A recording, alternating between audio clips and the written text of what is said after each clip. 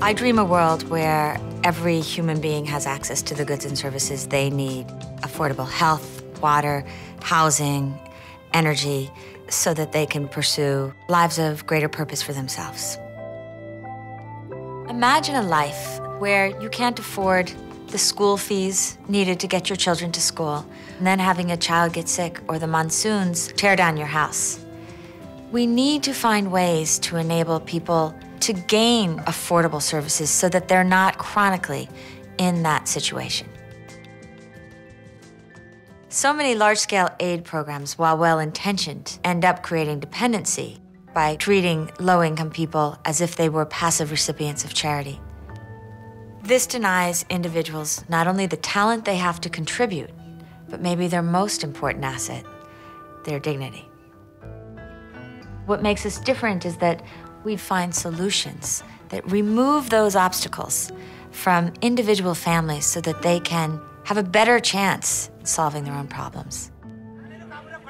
Acumen Fund is like a laboratory. We invest in some of the best experiments in the world. And when we find those things that work, we have a model that we can share with the rest of the world and reach literally millions of people who can then change their own lives.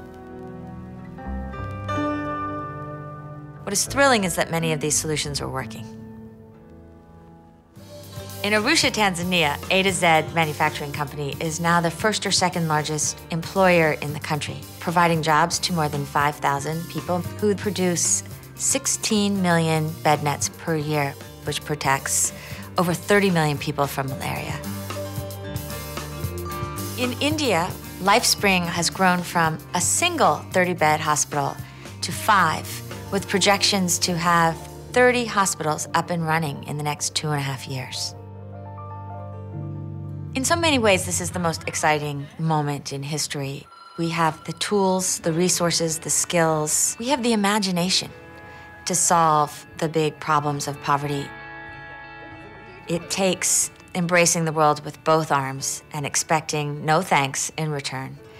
It takes moving beyond trite assumption and petty ideology and really listening to one another.